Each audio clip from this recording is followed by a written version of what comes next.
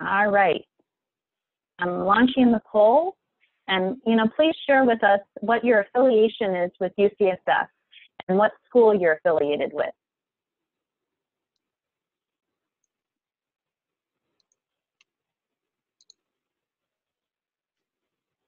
All right, we'll let you vote for a few more seconds.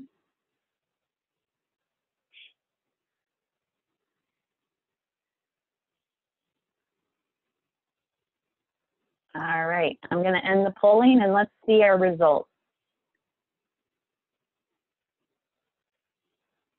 All right, can you all see the results? Mm -hmm. About 56 of you are students. We have postdocs, alumni, faculty, and staff in the room. That's great. And we have um, the graduate division is uh, most represented with 38% of you. Um, and next is medicine, pharmacy, and nursing. We're so glad all of you could, uh, could join us today.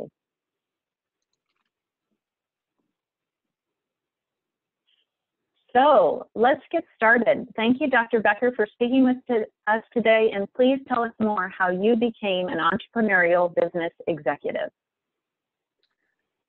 Thanks, thanks, Katie. Thanks, Rosie. Thanks to the UCSF for uh, giving me this opportunity, and thanks to all of you for taking time out of your days uh, to come listen to, to this story. And um, my purpose of doing this is I'm a proud UCSF alum. I'm really excited to have this opportunity to kind of give back to the community, but I'm also really passionate about helping other people with their personal discovery and figuring out what career is going to be right for them. So um, I'd welcome this opportunity and I uh, afterwards, after we finish the session, if any of you have other questions, I'm happy to stick around for a few minutes and, and, and talk some more. So my journey begins around the dinner table with my father. Uh, my parents were divorced and I was living with him in high school. And my dad was a professor of medicine here at UCSF. In fact, he uh, founded the Poison Control Center at San Francisco General Hospital and was head of the occupational medicine division for a number of years. And so, as you might imagine, our dinner table conversations uh, involve things like what was that latest overdose and what happened to the patient's kidneys and um, what happened when this uh, plant uh, manufacturing something exploded and exposed the workers. Those were our kinds of dinner tables and dinner table conversations. And so I um, I really enjoyed those kind of uh, the biology of medicine and listening to those cases. But then I also saw the other side of my dad's life, um, living with him in high school, which was that he was a you know professor and he was working really hard, hustling to write grants, trying to get funding to fund his projects because he loved doing the science. And so my point of sharing with this with you is that when I went to college, I saw how hard my dad worked, and uh, and while I liked the intellectual part of it, I was like that that that career, that job is not not for me. And so I can tell you, when I went to college freshman year, I was convinced the one thing I did not want to do was be a doctor.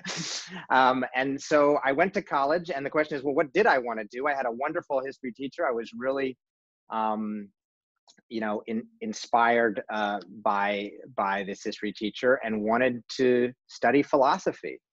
Um, and my dream and this will be funny now that you my dream was to have a ponytail and wear birkenstocks and be a professor of philosophy at berkeley. It's kind of funny given given my hairstyle now. Um, but you can see that that that that this journey is going to have lots of twists and turns on it. And i'm i'm hope you'll stay with me on this journey um, because I'm hoping that uh, I'm sharing these details with you because I hope that if you're, most of you are students here, I hope you understand that if you're grappling with some of these questions about what are you going to do or what are you not going to do, that that's normal. You're right where you're supposed to be. And that's where I was when I went to freshman year of college. Sure, I didn't want to be a doctor. Sure, that I wanted to be a professor of philosophy. Um, and so I was so convinced my first two courses in college, two out of four, um, were philosophy classes, you know, linguistics and political philosophy. And I can tell you, after those first two classes, um, in all my four years of college, those were my two worst grades in all of college. And I was the bug that hit the windshield of my dreams of being a professor, I realized I wasn't very good. I just didn't have the mind. I didn't do horribly, but I just, it wasn't easy for me. It wasn't natural. Uh, in parallel, you know, exploring subjects freshman year, I took an economics class and I did great. I did great in economics. But the problem was I didn't really like it. So there I was at the end of freshman year. The thing I was most passionate about, I wasn't very good at. The thing I was good at, I wasn't very passionate about. And I was, I was stuck. Like I was like, uh-oh, what do I do? what do I do? And so I came home after freshman year of college, um, came back home, and with my tail between my legs, I had to go back to my dad and say, Dad, uh, could I work for you this summer? Can I get a job with you? Because I didn't have a job, I didn't know what to do. And of course, he was very kind and happy to help. And so I had that the summer after my freshman year. So summer, um, I got to follow him on rounds. I helped, you know, as, as a research administrator, collecting data and entering it into surveys. Um, but I got to see him on rounds. And I should tell you that um, my father was an excellent teacher. He won several teaching awards while here um, at UCSF, uh, Charles Becker, and uh, and he always, for his entire career, he attended in the cardiac uh, coronary care unit in July. And for those of you who are medical students, you can appreciate that July is when all the new residents and all the new medical students come on. It's when you have the most junior, the least experienced team handling the cases. And the coronary care unit is one of the most complicated places. And he did that. He took that on and he loved it because he loved helping the students. And so I got to see him in this different light, not of the light of stressing over grants, but the light of helping and teaching students and really being beloved. And and I felt immediately comfortable in the hospital, very comfortable going on rounds just intuitively really interested in the research. And so that summer was transformative for me. I came back like, okay, I guess I'm going to be a doctor. And so starting sophomore year, I began my pre-med studies. Um, and and I was the sophomore, a few of us, along with most of the freshmen, and I was a year behind, struggling to catch up. But I was on a path, and I said, okay, I'm going to do this. And um, I found that um, that the science I love. I, I, was curious about the biology and the and the chemistry, and I I enjoyed it, and I had aptitude for it. Um, that was a fit. And I also found a major. Um, I went to Harvard undergraduate, and the major was history and science. So it had this very clever way that I could get credit for all my pre meds, but that not be stuck doing just science. I could do other liberal arts courses to complement. And that was lucky that I found that major. And in doing so, um, I ended up taking a course in the history of American medicine. And this was transformative for me because I still I still remember to this day the professor gave a lecture on the history of health insurance plans and how they came to be. You know, we didn't always have Kaiser in the world. We didn't always have uh, HMOs in the world. And I heard that story of how they came to be. And you will now understand why I may be a mutant, but I left that class electrified. I remember it to this day. I was, that was it. I was, I said, that was so interesting to me because it not only was medicine and healthcare that was it, but it was at a bigger level. It was at a society level. It was how these things were organized to improve the care, not just of one patient at a time, but of many patients at a time. And the notion of, of thinking that there were these organizations within healthcare that could do that was tremendously uh, exciting to me. And so in that moment, I discovered my passion. And that's maybe the first thing to just take a pause from my story and just underscore for you is pay attention to these moments in your life when something electrifies you and captures your attention in a compelling way because that passion uh, will be very helpful for you in figuring out the rest of your journey. And for me that was the first I mean, maybe it was the second stake in the ground. The first was healthcare and medicine in general but the second was that i found a way that it wasn't uh, that it was at a, a society level of impacting lots of patients and i that became my passion. And that is still my passion to this day about thinking about ways to impact the care of lots of patients. So I was lucky in that I found that kind of midway through my college. And then the question became well, that's a concept. How does that turn into a career? And remember, I think it's just, uh, not remember, it's fair to say that I, I, I had, you know, ambivalence about medical school like did i really want to do this? And and and so i continued to explore continued to work hard at my pre-med classes to give myself the option but i became more and more interested in this concept of health insurance. And so i actually did an honors thesis in the history of harvard community health plan. I learned a lot about them through that process. And i asked my college advisors i said look if I want to run an HMO, which is what I wanted to do when I graduated college, how do you run an how do you run an HMO? Who does that? What do you do for that? And they said, look, if you know you want to be in healthcare, go to medical school. And that was pretty that was good advice for me. Um, and I said, okay. And so I finished pre-med courses, took MCATs, applied, was very lucky to get in to UCSF, uh, came back to UCSF, where I did have the, the, the privilege of having my dad teach a couple classes but most importantly i got to see the wonderful you know other students in my class. And i have to say in my whole career you know that was the most intense academic experience with the smartest group of people i've ever been a part of 141 of us. Um, and it was an incredible group. And it was intense as you were in the medical school know. We learned a lot. Um, i I uh, was able to keep up and uh, enjoyed learning, continued to learn about the science as I've always learned about it. But I have to say, I was different.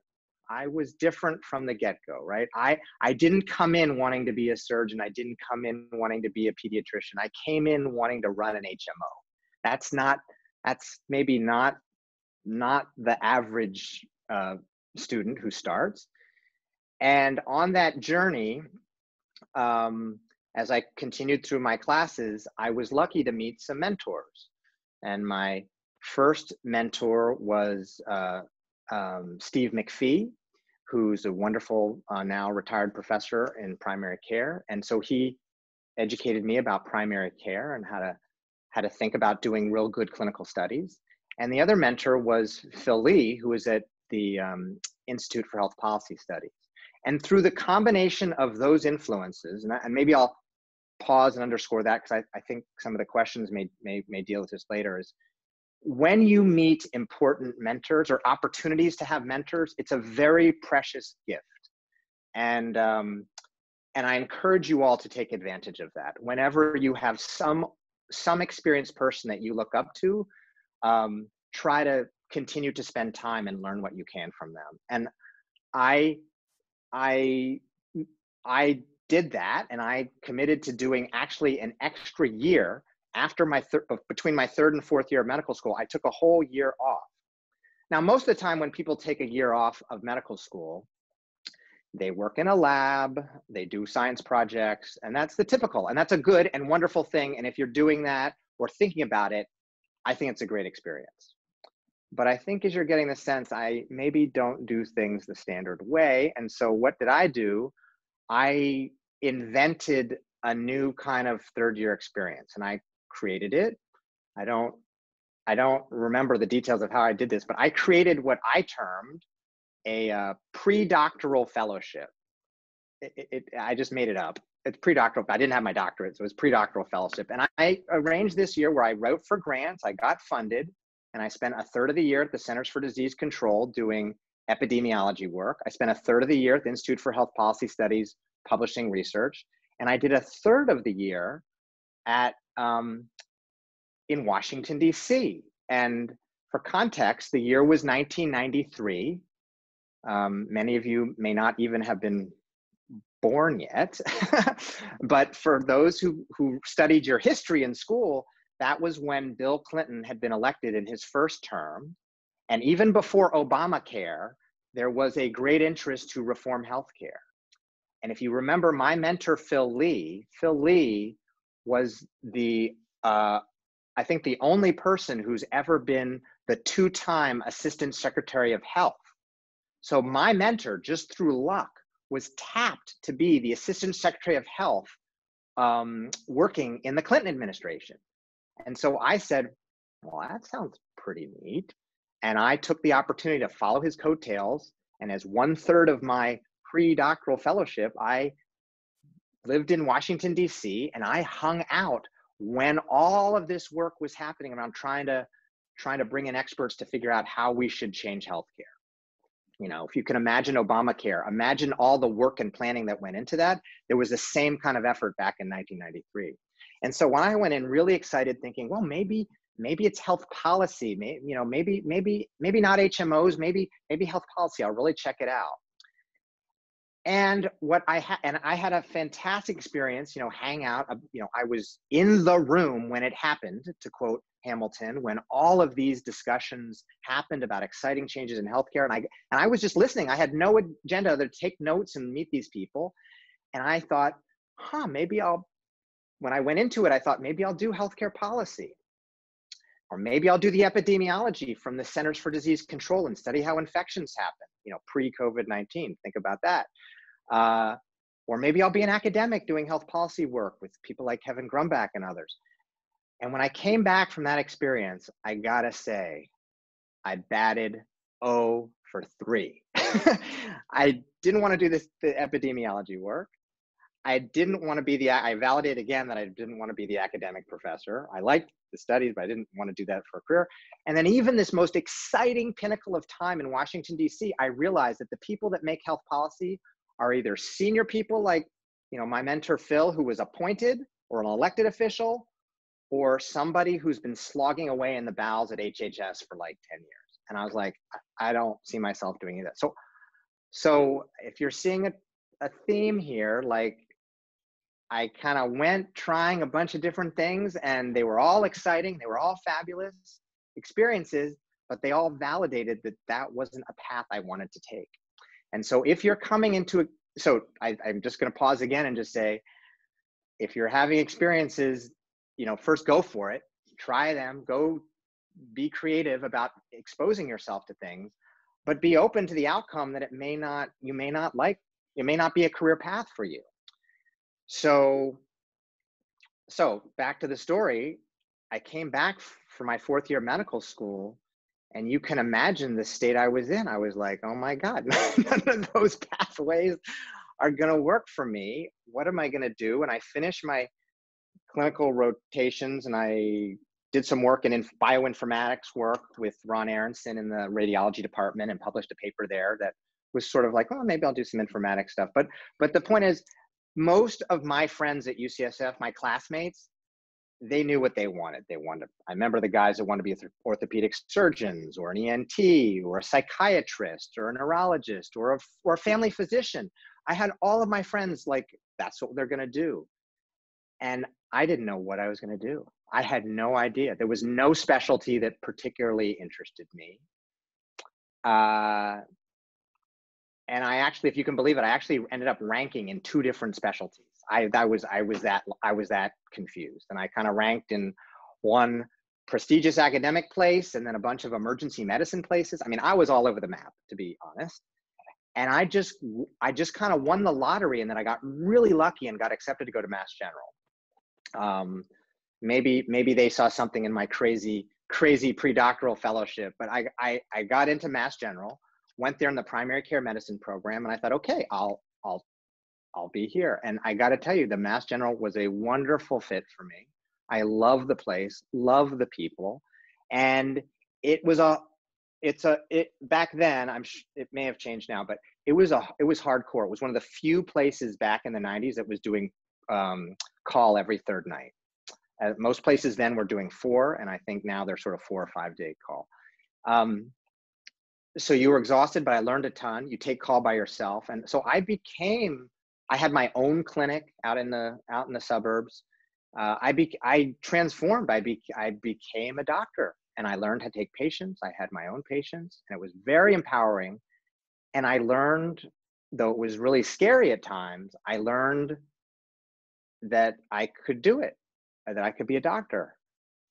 And all of a sudden, that ability to know that I could do it, it I guess it could have gone a couple ways, but for me, it caused me to be proud of it. But at the same time, I was also like, step, it got me to step back and say, what, what am I doing? Like, I, I, I am on the path to have a clinic. Like, I know I could do this. I could, I could be a doctor. I could be a pretty good doctor. I could, but but I didn't I it like it didn't touch my soul and I don't know how to explain that but to say listen listen to what that soul says to you and I just didn't see myself in a path in a clinic taking care of patients. Now, I did something radical at this point that I do not recommend. But uh you know, to be honest, one of the traits of many entrepreneurs is we're not very patient. And I was not very patient. And what did I do? I took that experience and said, well, I I've I've deferred my dream of learning business. I still had some aspirations of working in the business side of healthcare. And I'm I've spent 6 years learning medicine, but I have not learned about business. I need to go learn business. And so I I I I jumped out of the plane without a parachute and I left Mass General that I'd worked so hard to get after my internship in medicine and jumped out to go get a job. And I said, I got to go get a job in business. Now I got to tell you this this part of the story, I do not recommend that. if I had to do it over again, and I made this decision like post call, right? Um, uh, but I but but I said I just I just got to do it. Um, in retrospect, I probably should have stayed and finished to give me more career options, but I I wasn't patient, so I literally went back to the undergraduate office of career services with all the other undergrads and i said i'm going to get a job in business and i interviewed at a bunch of the top consulting firms. And um, if you can imagine i was interviewing for these jobs post call i was exhausted. And and it's kind of comical. I can laugh about it now but i didn't laugh about it then. I was in retrospect, I was woefully underprepared. I was so unprepared. You can imagine I, I was just totally taking care of patients, and then I was interviewing with McKinsey people asking me about telecommunications in South America. I had no idea what I was doing. I was totally making it up. And I got to say, they were so nice to me. They were so nice to me. Like it was, clear, it was the, it was one of the few times I, I was so unprepared, and they were just nice to me the whole time. And at the end of that completely humbling situation, I got exactly one job offer. I got one job offer. And I took it. I took it. I ended up going to this uh, consulting firm called APM. It wasn't a McKinsey, it wasn't a BCG or Bain, but it was founded by a bunch of um, ex McKinsey partners, and they had a niche in healthcare. And that is why they hired me because I knew something about health policy and they liked me for that and that was the one job i got i took it and that was a really transformative experience for me also that was i consider that my business school um, because I, I i think they gave me credit for my md and they hired me as a post mba level. I was not qualified at all. I don't know why but uh, but anyway they just threw me in there. And and i remember um, uh, the transformation was challenging, but good for me. I remember saying to myself at the beginning of that, well, I'm I'm not going to wear a suit because I remember the consulting suits coming to the hospitals and doing their work. And so I always wore like tweed coats and things, kind of professorly, just because that helped me hold on to my physician identity. But as you can imagine, after about a year of doing that and traveling, I eventually put the tweed coats away and I, I became one of the suits and I learned Excel and I learned PowerPoint. I learned how to do presentations. Um, I learned how to uh, do a lot of different uh, reorganize hospitals, how to save costs at hospitals, how to do strategy projects for physician groups. It was a it was a wonderfully educational, uh, hard, intense. In some ways, just like the first two years of UCSF medical school, but now in my in a business framework. And I learned a lot of core business skills. But ultimately, and so period, I just I learned and I I then had the choice uh, after I'd done that do I go back to residency or do I continue? And I said, I think I'm going to continue. Um, and along the way, the dreams of the HMO had faded by the wayside, but my passion remained. I still remained committed to healthcare. That hadn't wavered a bit. I had not a doubt about that. I had not lost a doubt of my commitment to want to work with patients on a broader level. Um, and I was beginning to get a little bit clear that I kind of was intrigued on this business side, but I didn't quite know what that meant to do. And so I said, look, after consulting for a couple years, it was very educational, but it's a hard life. You're traveling four days a week and it's not much of a life. I said, I'm going to go, I'm going to go get an, I'm going to go now work at a company. And I said, my thing that I'm passionate about is technology.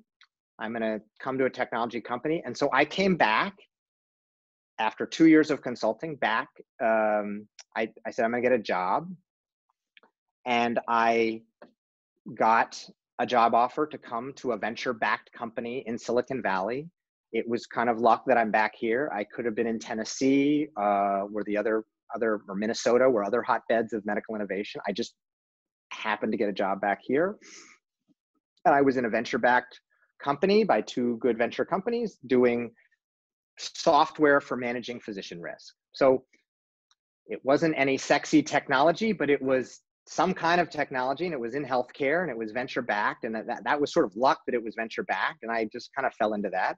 But I began to get operating experience and I began to to see okay this is how it works in a company and get a little bit of experience and then one thing to be open to is sometimes bluebirds will come into your life like these random potentially seismic events. And mine came in the form of, a, you know, I'm in my late 20s and friends were starting to get married. And I went to a friend's wedding. And at this friend's wedding, I met, met a, a, a former high school classmate of mine who was a uh, investor and VC. And you, to set context, this was in 1996, 97 if you can imagine, Amazon was just starting up. And I met this venture capital investor friend of mine from high school, um, who I hadn't seen in a few years. And she said she wanted to start a, a business. And I said, hmm, well, what are you thinking of? And she goes, why? I'm, I'm thinking of what's the next thing? If Amazon's shipping books, what's the next thing that's small and shippable? And we said, pills pills are the next thing that's small and shippable. And thus was born the idea for a company. And uh, we worked together. We sort of worked at nights and on the sideline putting together presentations. And eventually we got, you know, some top tier venture capitalists uh, to give us, uh, you know, $7 million to go start this, what was a 15 page PowerPoint presentation and turn it into a business. Um, and so we did. That was the beginning of what would become Planet RX. Uh, this is in the late 90s. Uh, this is dot .com 1.0 for those who use that. And so I quit the other job, uh, joined this full time, threw myself into it, and it was just like what you've seen in the movies, where you're working night and day, uh, hustling to build this business off the ground. And so you may be asking, well, what what were you doing? Like you're this doctor guy what were you doing? And the question is as a startup as an entrepreneur you do everything. I hired the people for the team. I signed the leases for the copier machine. Like you do everything. And it was great. And i loved it and i was excited about it. And i found the other side of entrepreneurship is not it's not so much the skills like you just work hard and you figure stuff out and you guys are all talented you all figure stuff out but um, and it's also the will to work hard, which everybody in this room has. But it's also I found it was the ability to keep cool when everything was chaotic around you, and somehow all of that training at UCSF. All of those times, a third year medical stu- student staying up late to figure out what to do with the patients, or as an intern attending on the ICU, trying to keep track of all the data.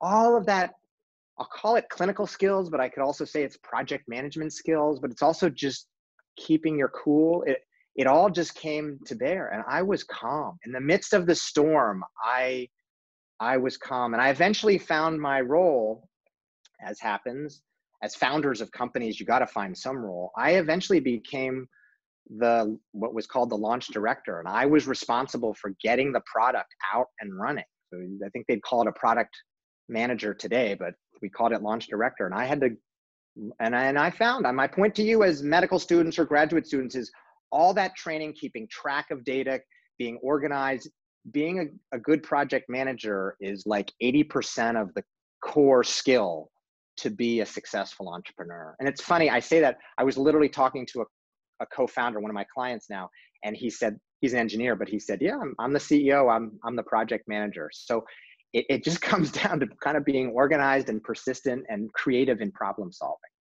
So that was Planet RX. It was the go-go late 90s. We raised uh, we raised um, a lot of money quickly. I learned about working with venture capitalists. We scaled the business. We ramped it up to $40 million annual run rate in a year and a half. I mean, just fantastic growth. But for perspective, in those days, it was all about customer acquisition. I remember going to raise venture capital money and they would say to us, well, whatever you do with this money, you're not going to get profitable too quickly, right? I said, right. So uh, so the point is, we weren't profitable. We were just acquiring customers. And then what happened was all we took the company public with Goldman Sachs. You know, the thing was that we were a unicorn before there were unicorns, but the whole business model was built on uh, was built on continued growth and raising additional capital. And the markets, as things happen like COVID 19, you're seeing that markets can change rapidly. In 1999, boom, the markets closed and so all of a sudden, all of this business model that we had built, like with raising money and acquiring customers, and we were a leader, um, it, it, it, it didn't work. There was no more money coming in. And so I went from, you know, running our big partnerships and doing, managing a lot of things in the company to all of a sudden I was closing down the company. And at the end of the day, I closed it down and I took with me uh, my tombstone for going public and my chair. And that is and the experience of an entrepreneur, which I learned that was my thing. I had found it. I was, I could do this. I was comfortable. Um, even if this one didn't persist, I, I, I liked it. Um, so then the next phase was to, to pivot to, uh, you know, to find the next job. And so this is maybe something for entrepreneurs. People ask, how do you do entrepreneurship well? You're, one of the skills you're going to get is be skilled at finding the next job. You either got to invent the next company or find the next job.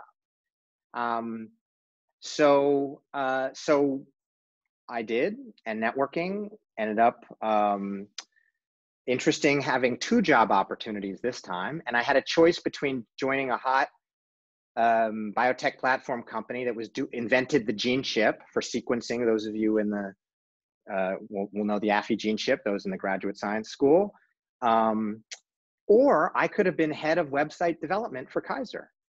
So here we are 10 years later, and I had the choice to go work for an HMO or go into biotech for an exciting tools, you know, tools company.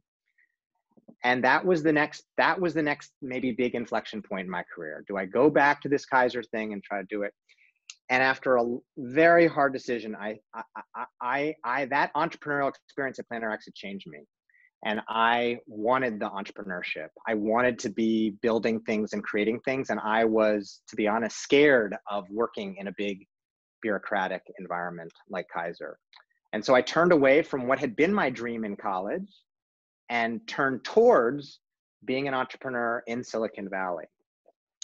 Um, and I was the first physician that Affymetrix hired, and I built. My job was there to build kind of the clinical market and and so I did that. And along the way, I had a slide that I used to say, this is in 2002, someday somebody will take a piece of the gene, the human gene expression, and they will use that to diagnose diseases. And they'll use another piece to predict who's going to respond to which diseases. And so lo and behold, three years later, a company came along that said, we want to do that. And I got hired as their head of commercial we started using a certain kind of technology, mass spec, for those of you in the lab, and I learned a lot about mass spec. And we and I, my job was to do the clinical studies. So here, here I was back doing clinical studies for a technology, and we did the studies. We designed really good studies with the top-notch clinical advisory board, including Peter Carroll from UCSF, who was one of our advisors, who's a wonderful man. Um, and you know what? The science just didn't work. Just didn't work and so that's maybe another lesson for entrepreneurs you you got to be sometimes there's business failure at planet rx And sometimes there's technical failure, like at what became Predicant Biosciences, and it just didn't work. And so, once again, I was looking for a job, but this time something unusual happened. The venture capitalists that invested liked the work that I and the CEO had done so much that they said, We want to put you into another company.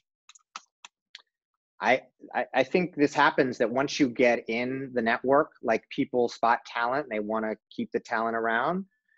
And um, and so for six months, I basically was like a venture capitalist pulled up at Versant Ventures on Sand Hill Road, which is where a lot of the VCs are. And my job was to find a company for them to put us into.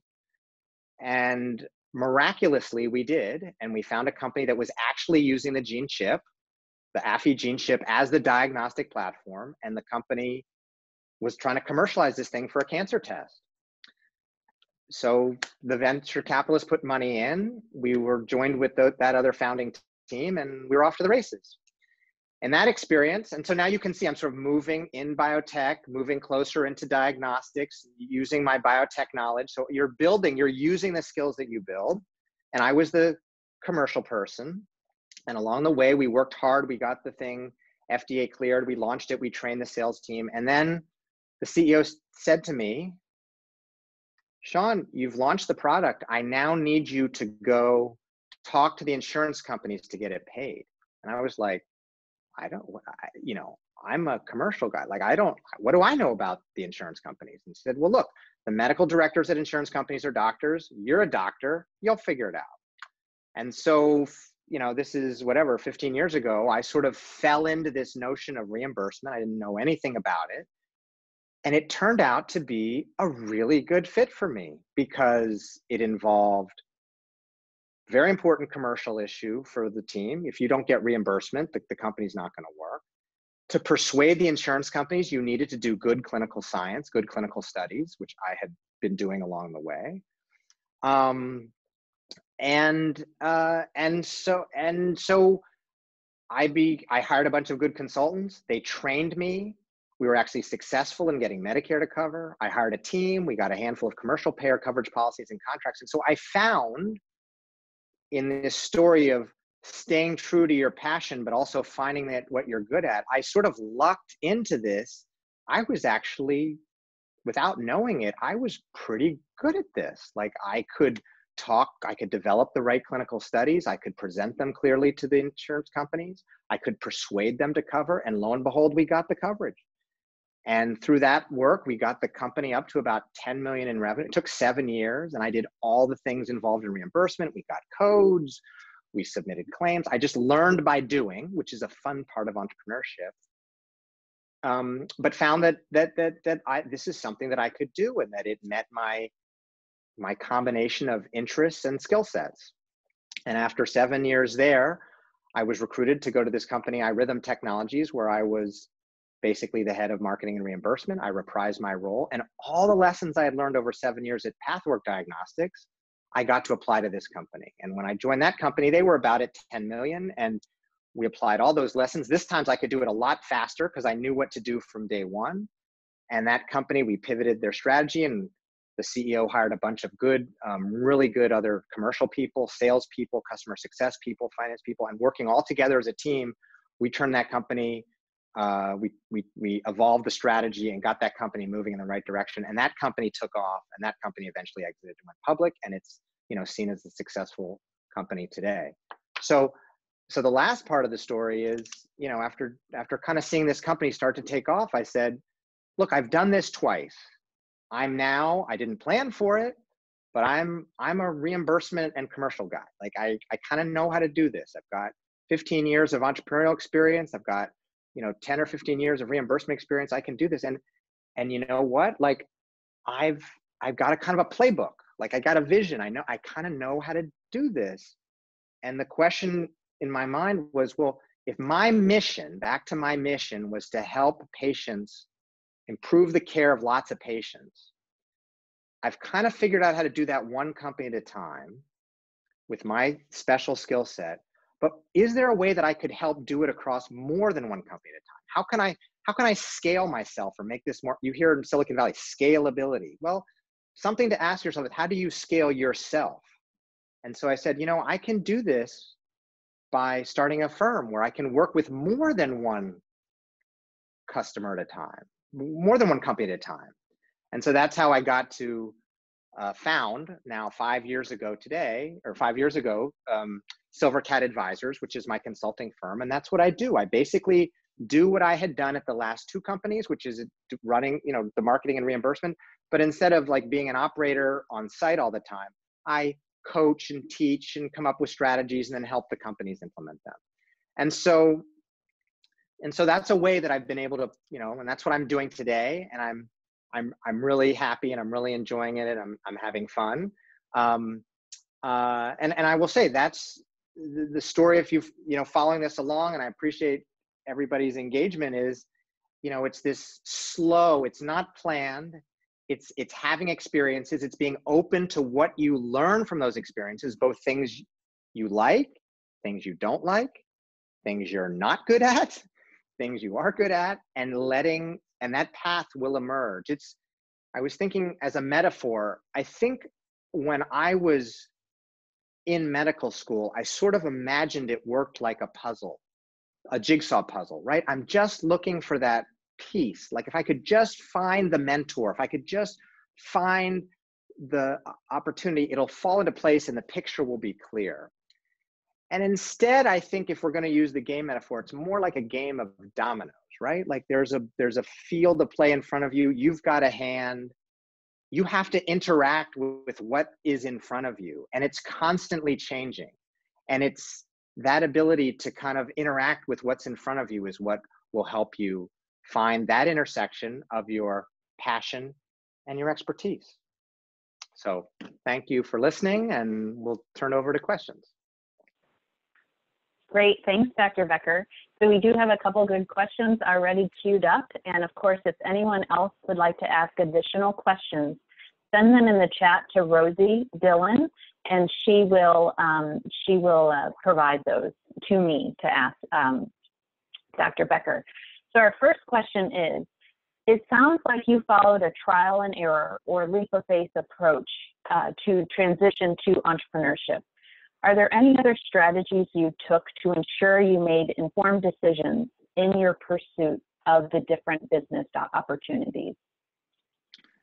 Thank you for the question. So, yeah, so there is absolutely, you must take a disciplined approach to investing every opportunity in front of you. And I didn't, I didn't um, f- layer into my story all the other kinds of companies or opportunities I looked at and discarded because they, they, you know, they didn't make sense or I didn't, I didn't believe in them. Um, but you should. And the questions when people ask me about how do you evaluate an opportunity, I think there's, there's typically a few questions I'd encourage you to ask. The first is, um, does the company need what you can bring. Does the company need what you can bring? Because it may be a really interesting company, but if they don't, they don't kind of need what you bring, it's not going to work. The second thing is, do you think the company is going to be successful? It's the best thing you can do for your career is work at a successful company. So you want to make your own judgment about the commercial prospects and you know I'm I'm probably a pretty slow learner, but I've learned along the way, like you know, you got to check the business model, make sure you believe in it. There's always risk in these things. Nothing's 100%, but make sure you believe as much as possible it's going to work. And number three, you need to ask yourself about the cultural fit. We haven't talked about that as much today, but uh, especially as a consultant, I can tell you every company has a different culture. It's uh, it's amazing to me. It's I, I may write an article about this someday. Um, and the culture comes from the CEO, whether both consciously and unconsciously in ways it permeates all the cracks of the institution. So you just will see if you fit the company. It may be a company where you can make an impact with your skills. It may be a company that you think is going to be successful, but the cultural fit may not be right. And if the cultural fit is not right, don't do it uh, you you will either be you either won't last or you won't be happy. Uh, so um, so I hope that answered your question. Like, do evaluate the opportunities um, critically uh, before before jumping in. Great, thank you. That's really good. Uh, we had a question that came in um, that I thought was very interesting. It's in medicine, it seems that publicly revealing major failures as a medical trainee or physician is still stigmatized, shame inducing, and has serious ramifications for future career options. Whereas in entrepreneurship, as you've spoken about, revealing big business failures seems to happen all the time, and there seems to be plenty of career opportunities to move on from failures. Any suggestion about how this cultural phenomenon in medicine can become more like entrepreneurship? Hmm. Great question. Um, well, first of all, that that's a cultural question, and as I just said, culture comes from the top. Um, I do believe that there are cultures in medicine that do embrace uh, failure to a degree. For example, one of the classics in medicine has been M&M, you know, morbidity and mortality, where you review what happened. So I I I think um, I think that there is an opportunity to learn, but but but I I I understand what you're saying that in general medicine is mm, less comfortable making visible, and certainly outside of the cloister of uh, you know physician training uh, about failures. Um, but my my answer is it's it's it's pretty simple. It needs to come from the from the top. It needs to come from culture, and hopefully somebody in this room will either be part of the next generation that will move into leadership and make that part of the culture, and we'll look for ways to to bring that over.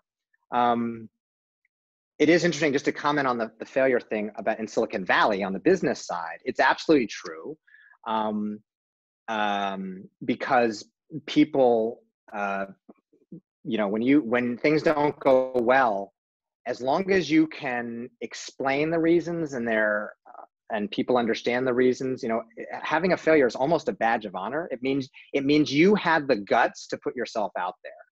And a big thing in entrepreneurship is having those guts. If you don't have the guts to tolerate failure then you shouldn't be there. It's just not the right fit for you. So failure actually means you have courage and failure is assumed that you learn things and the ability to articulate those lessons learned will be important for uh, you know for your next opportunity. Great. Thank you so much. Here's another great question that's come in. Understanding that this is an extraordinary time now how do you see the healthcare landscape changing due to covid-19 and how can entrepreneurship play a role? What advice do you have for students graduating in the current economy as they navigate jobs in healthcare?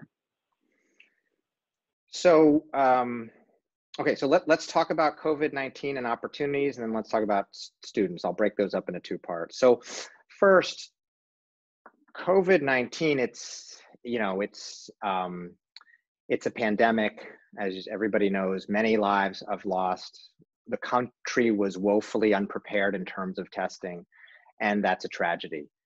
But um, you know, with the Silicon Valley mindset, you know, uh, as I said, failures are opportunities, and certainly business opportunities. And I can tell you from kind of being on the front lines, it's been trans, it's transformative for healthcare in a couple of ways.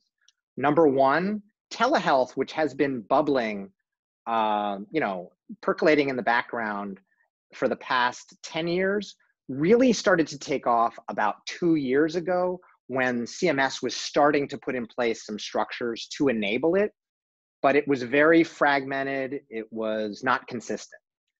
COVID 19 uh, has released, because people can't access their doctors or afraid to go to the um, to their doctors or to the clinics has in a emergency way wiped away a lot of the barriers. So telehealth has advanced from my perspective like by five to seven years just in the last month and this is providing a lot of business opportunities for telehealth companies both those that were in it and those that are jumping into it in all kinds of ways. So that's number one. The second is there's also technology opportunities. I mean i mentioned diagnostic testing. That's going to continue to be an opportunity. Um, and of course on the on the you know pharmaceutical development with looking for treatments and cures. But even on the platform side, um, you know, something that had been an evolving barrier had been regulatory. You know, the FDA, and I can tell you that the FDA has been evolving. So it kind of like it's analogous to, to telehealth. Like it had the, the FDA like 10 years ago, it was the biggest barrier. Like it was just so, such ossified bureaucracy, so difficult.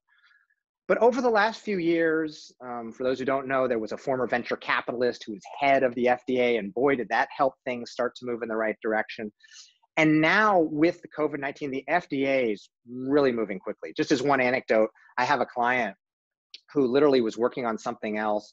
The FDA became available through their regulatory consultant. Said, Would you mind putting in something? Like the FDA is asking for someone to do something, and the FDA is like getting back to them within minutes. Unheard of. Usually they're on like a 90 day clock.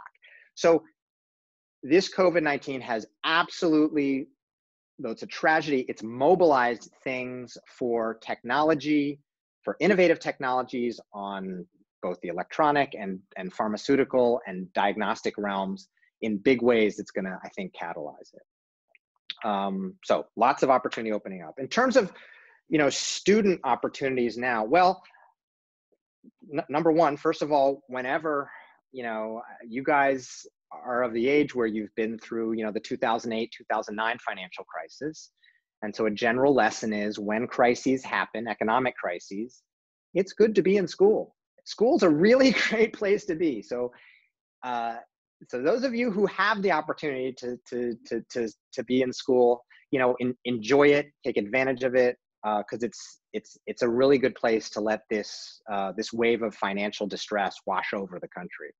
For those who need to go, you know, into work, um, I think medic at least medical medical and dental and pharmacy careers are relatively spared. You know, there'll still be the need for doctors. That's going to come back already. Elective procedures are coming back online. So I I mean, I'm not plugged into medical education, but I think the the near term residency tracks and all that are are intact. I think the the you know the other question is how will those who are already in practice since we have some alumni how will how will your worlds change and i think that um, i think that you can connect the dots to what i said earlier that tell your world is going to move towards telehealth like if if you are in a kind of clinical career that can work with telehealth I would encourage you to jump on that train because that train has left the station and it's only picking up speed. Um, if your specialty is not one that embraces telehealth, for example, you know surgeries, you can't do surgery by by telehealth. Um, you know you're going to need to you're going to need to think about ways to set it up to make it comfortable for patients and and work because COVID nineteen going to be with us for for a while. So those are my my high level thoughts. Sounds good. Well, thank you again for your time and insight. And before, we'll do one more question before we officially end um, and stop recording. And so if anybody would like to stay on the meeting a little bit longer after we finish this final question, Dr. Becker is going to stay on a little longer too, and we can unmute everybody and have a little bit more of a casual, um, you know, connection um, between you and Dr. Becker. So we'll just, uh, we'll see how that goes. Um, but let me go to the final official question for you, Dr. Becker. So we've had, a, you know, if someone's had a lot of um, ideas about possible business startups, but always assume someone has done this already. What is your idea for students to research the area of interest prior to getting started to make sure they're not recreating or copying a business model that already exists? Okay, I, I love this question because it gives me opportunity to, to, to bring up something about entrepreneurship. Um, so first of all, it's the notion of doing your homework to study the market, to study the opportunity. That's important. Um, I think something that sometimes gets underweighted is what I will call customer discovery. Like it's one thing to have a business idea, it's another thing to really understand who's going to pay you for that. There's a lot of things out there that are interesting or even beneficial or helpful. There's a smaller subset of things that people will are willing to pay for. And so Uh, my, my first point is uh, don't be afraid in your research phase to, to actually do some customer discovery. And even if that means, you know, you have a few of you working, you know, in your garage or in your bedroom and you need to go, you know, figure out how to talk to an integrated delivery network. Well, you, you figure it out. Go talk to, you know, figure out how you can go talk to some integrated delivery networks, even if they're big and far away and learn about, you know, their interest in it. I think that that last bit of like how the money flows is not often done enough in uh, in in kind of business concept phase. So that's number one. But number two is to your question about well, let's just say that we find 10 or 15 or 20 other companies doing the same thing. Um, it's true that it is important, especially from a fundraising perspective, to have some kind of the VCs use the term unfair competitive advantage. You have to come up with a way to think, whether it's a proprietary technology or an, or an approach or just a problem. You, you ha- that's kind of, you need to have that some kind of, of something unique about it.